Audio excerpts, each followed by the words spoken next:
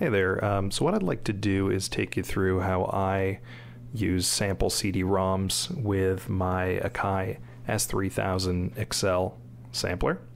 I can confirm this works for the S3000 XL, it works for the CD 3000 XL. It may work for some of the older ones as well, I'm just not sure. Never used it myself. If you're not familiar with a sample CD-ROM, it's really uh, what predated today's sample pack. Um, so before, instead of having this all on your computer or online, uh, you would actually have these physical CD-ROMs, or before that, floppy disks uh, that contain samples, and then those samples would get uh, collected into programs, which is kind of like a preset. Um, so there's a lot of these available online. I'm not really going to go too much into that, um, but pretty sure you can probably find them. Um, you can also buy the hard versions of them if you like. So this really started out for me with wanting to be able to use all of these sample CDs because there's a lot of really good stuff out there from uh, you know the 90s and 2000s.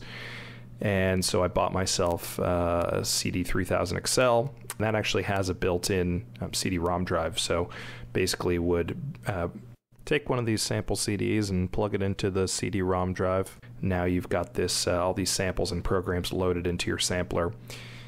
And that was great for a while, but it really just meant that you only got one uh, CD at a time. So a little bit of a slower process there, workflow.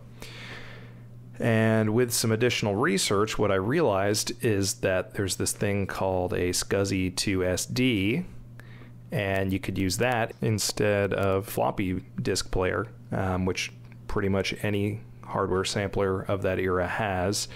And essentially, what you could do is then instead of just having one sample CD, you could put up to seven on an SD card, put that into your SCSI2SD drive, and then all of a sudden, you've got the equivalent of seven CD ROMs all loaded into your sampler at once, which is pretty cool. I set up my SCSI2SD drive, but I have to say it was not super intuitive from that point going forward. Uh, there is some information online. There are some videos, specifically uh, Paul Cunningham's, were very helpful to me, but I still could not figure out how to get multiple CDs onto a single SD. Really, I could only using that uh, that guide figure out how to get one CD onto one SD drive, which you know kind of defeats the purpose because you're just back to uh, you know the equivalent of a of a physical CD show you today is is how that you can take those um, ISO or ISO files, which is basically like the equivalent of uh, the physical CD-ROM, but it's mounted on your desktop. So how you can take those and load up to seven of those onto an SD card, and then use those um, with your S3000 XL uh, or potentially other samplers. So let's take a look. I'll start by formatting my SD card just because I have. Um, used it for a few things in the past, so just want to start fresh here.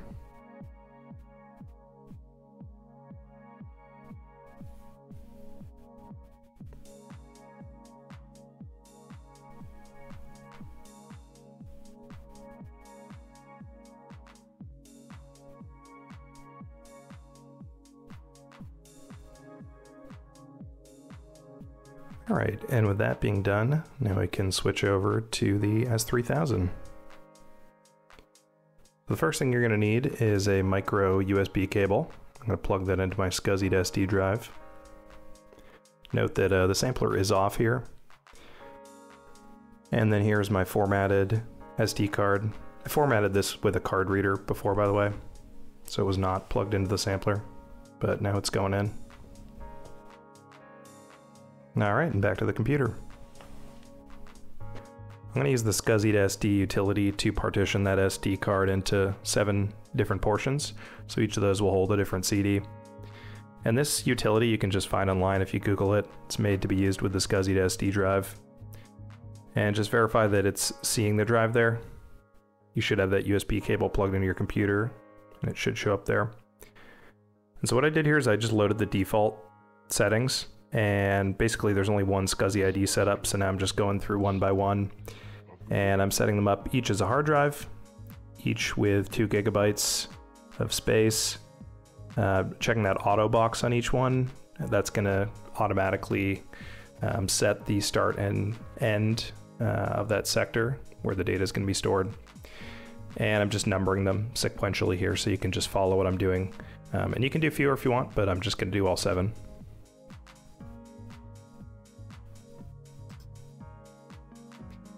And then just to test it, so I, I save it first to the card.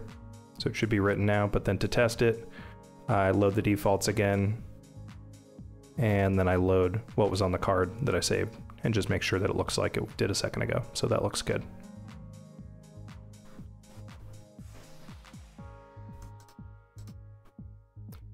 All right, next up, I need to use the Windows Disk Management tool. You can find that if you right click the uh, Windows button there in your taskbar. And what this will let me do is it's going to let me set up each of the individual drives that I just created on that SD card. Um, so when you open this up, you'll see if you did this right and you do seven of them, you should see seven different disks here, each one two gigabytes. Now just make sure you don't write over your C drive, that would be very bad. Um, but if, if, you just grab one of these two gigabyte ones, um, you should be fine. So I'm right clicking on that and then I'm doing a new single volume and basically just clicking through here. But one thing you want to make sure you don't do is that you don't reformat this. So go up to do not format this volume. And then Windows assigns a letter to it. So that's how I'm going to identify it and find it later. I'm just going to do this for the first three. You'd need to do this for all seven if you created seven SCSI IDs.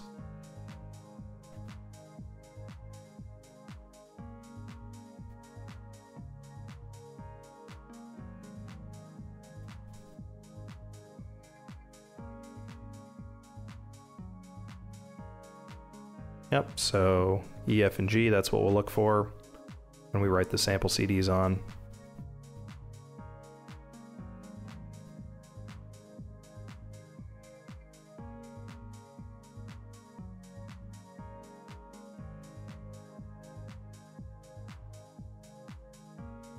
Uh, now here's another app you got to get. It's called Win32 Disk Imager. It's free.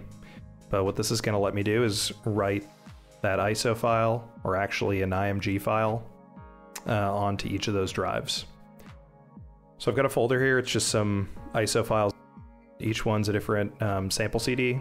These are from the um, the Akai uh, sound library. I think there's eight discs in total. And I'm going to put the first one on first here. And you'll see their ISO extension, so I have to actually just change this to an IMG or else it won't work with the, the Win32 disk imager.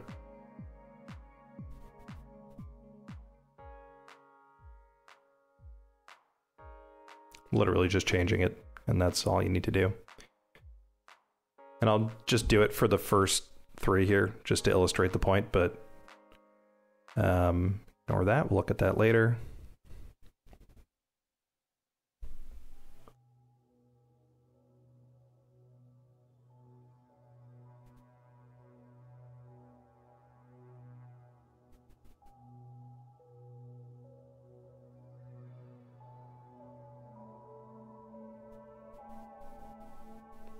Cool. So now we can actually write that first Akai sample CD uh, to the SD card to drive E as it's been named by Windows.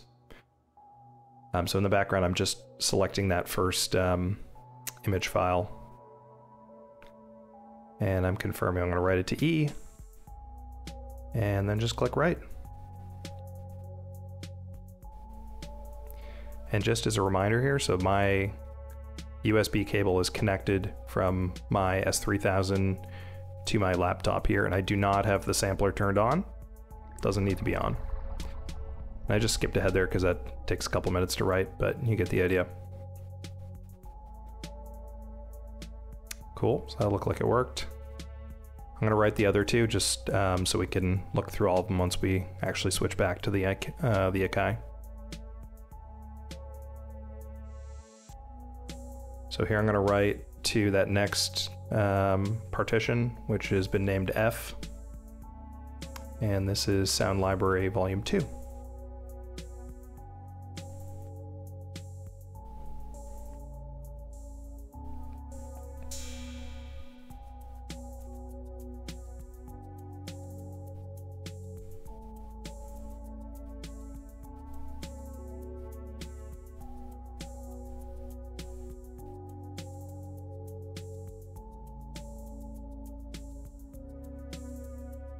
All right, and skipping ahead. Uh, these really don't take that long to write, just a couple minutes, but no sense in sitting here watching it load.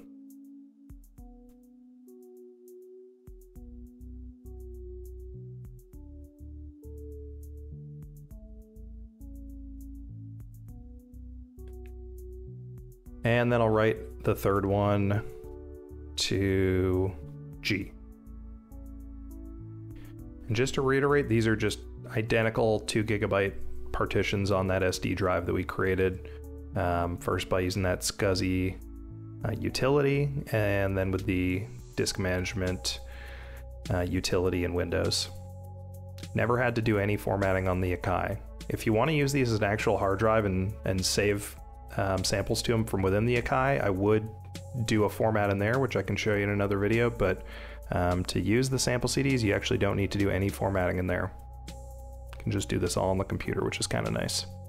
All right, and the last thing I'm going to do here before we um, look at the Akai is I'm going to change these back to ISOs. Um, first of all, so it doesn't trip me up in the future. But um, second of all, I'm going to show you one more tool I like to use. It's called CDXtract. Uh, you can get a free version of this. I'm running the free version here.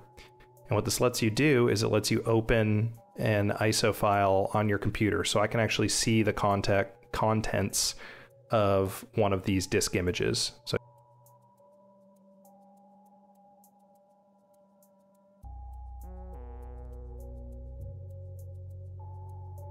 but just open up the first one here and you'll be able to see the different um, partitions You'll be able to see the different programs that are in each one. And then at kind of the bottom of the screen there, you can see the samples themselves. And you can actually, if you click through those, you can play the samples in here just to get a kind of a preview of what's on there. So this is what we're gonna look for um, in the Akai itself, just to make sure that this worked. All right, and let's switch over to the hardware.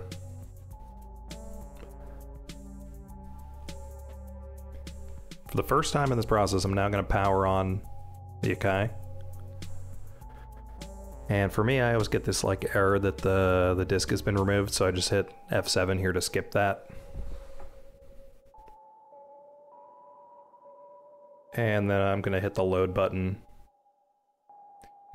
And you need to get the proper SCSI drive selected, which is F5. The way that this numbering convention works, uh, at least for me when I do this, is I have to set these both to zero uh, to get the equivalent of that first segment or partition on the SD drive. So that'll be CD1.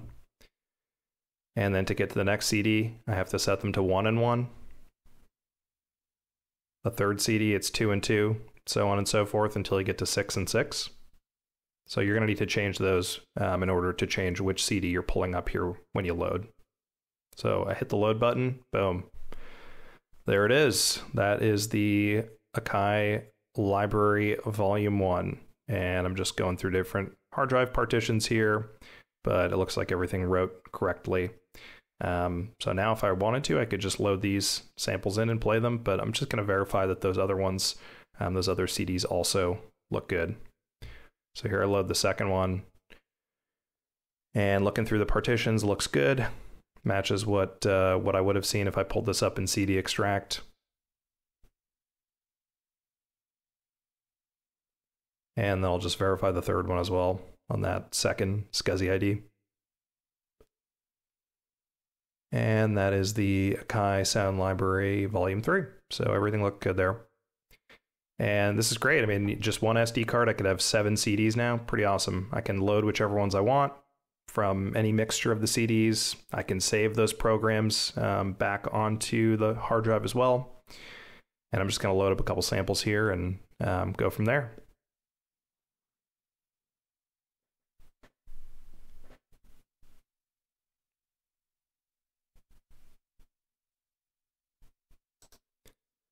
All right, well, that is it. Uh, hope that helps somebody. Just want to say thanks again to Paul Cunningham for getting me this far. And uh, if you run into any problems or have any questions, feel free to leave a comment. I'll try to help you out and enjoy.